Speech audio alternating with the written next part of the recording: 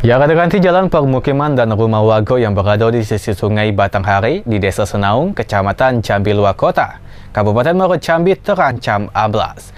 Sebagian tebing yang berada di bantaran sungai Batanghari di desa setempat kerap mengalami longsor akibat terkena abras terutama di saat hujan deras dan tingginya debit air sungai.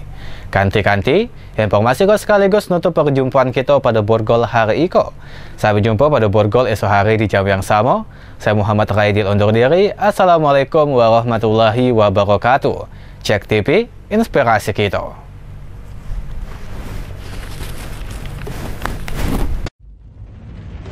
Abrasi sungai yang terjadi di sisi Sungai Batanghari di RT 02 Desa Senaung, Kecamatan Jambi, Luar Kota, Kabupaten Muaro Jambi, terlihat cukup memprihatinkan.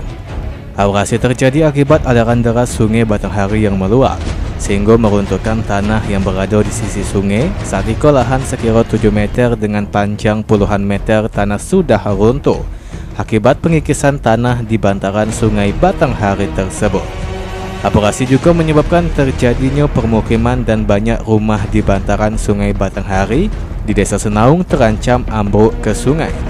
Warga mengaku sudah berulang kali melaporkan soal operasi tersebut ke pihak pemerintah namun hingga kini belum ada tanggapan. Ini yang dulu air ini kan naik pasang. Jadi pas air naik sampai ke sini begitu surut tanah ini langsung amplas ke bawah. Bisa jadi amplas lagi karena di sini kan sudah di bawahnya agak ada kan dengan jalan pemukiman.